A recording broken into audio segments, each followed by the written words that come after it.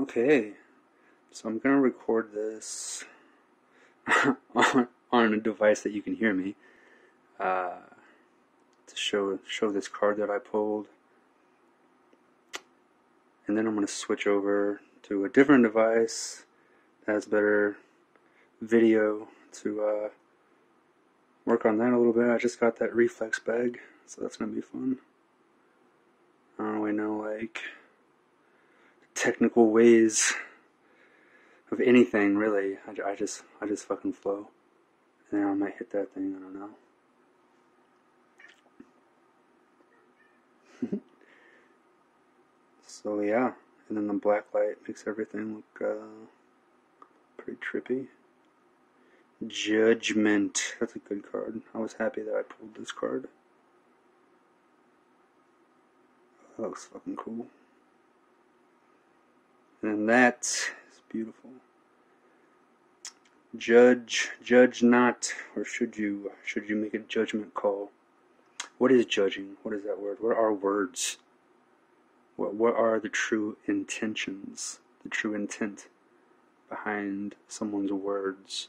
The spells that they don't know, they don't realize that they're using, wielding their sword.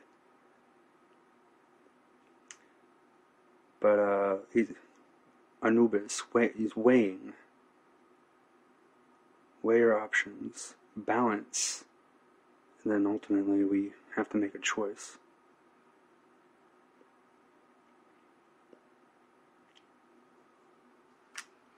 I'll read this. Judgment. Anubis, jackal headed god of the Egyptian underworld, looms over a crowd of waiting souls. Each will have their moment of reckoning, their lives measured against his feather of truth. Light as a feather. This card's appearance signifies that you are ripe for transformation.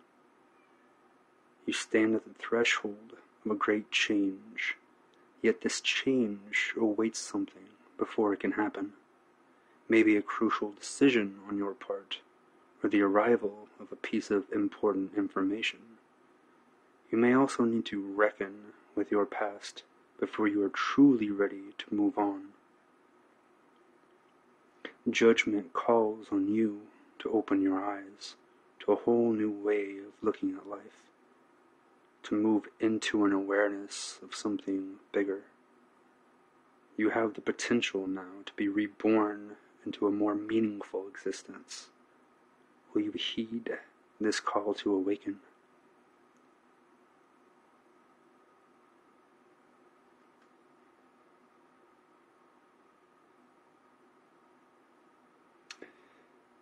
You have the potential now. Well, what else is there besides now?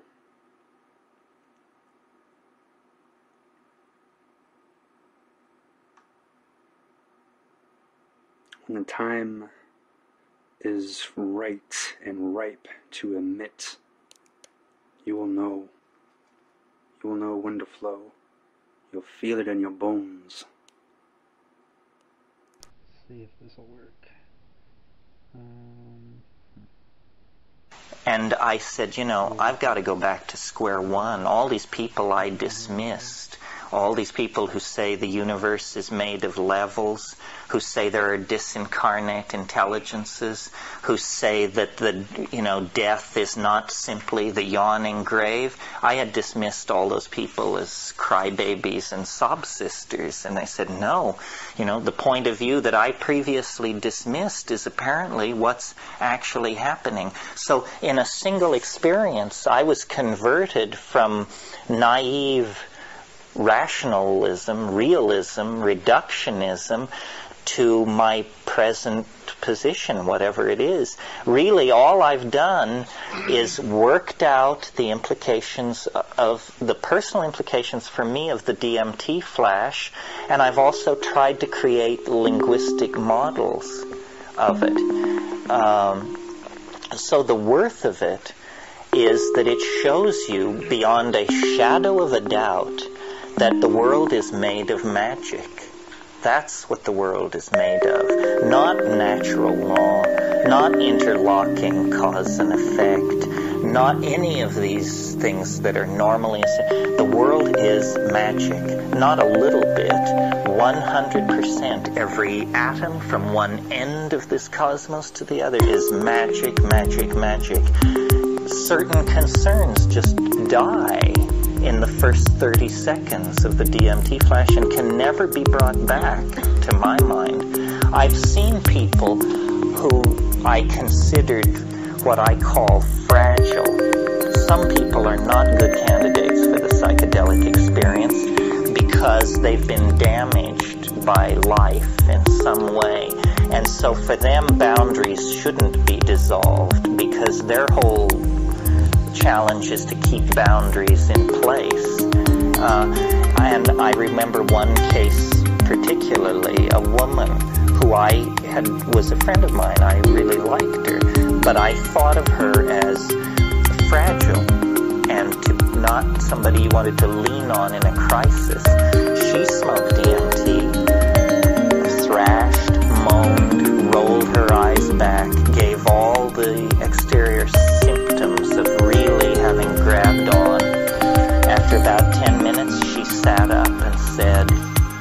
didn't work. Nothing happened. I said, Nothing happened. Well, you want to try again?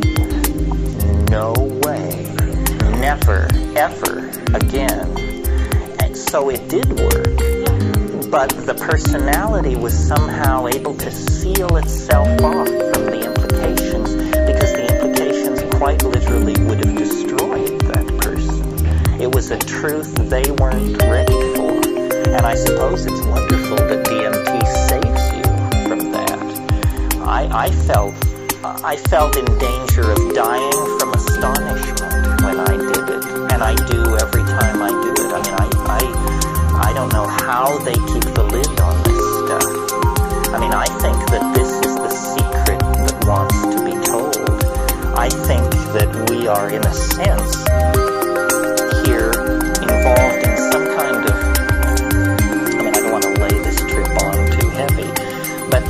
sense, we're involved in a little cosmic drama here.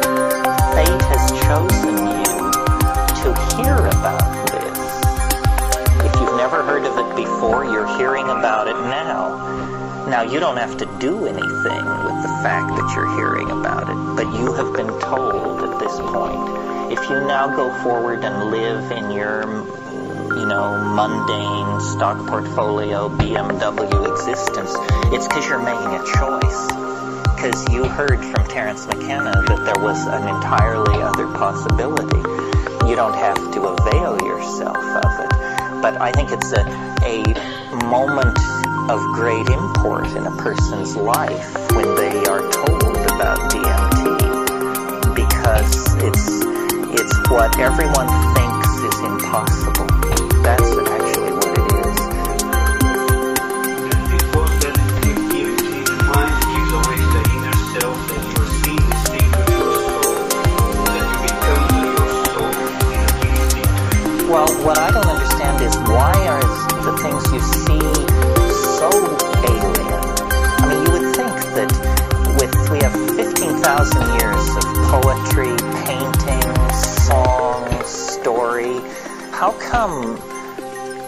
No tradition of this? How come our folkways and our art and our drama are so utterly empty of an awareness of this?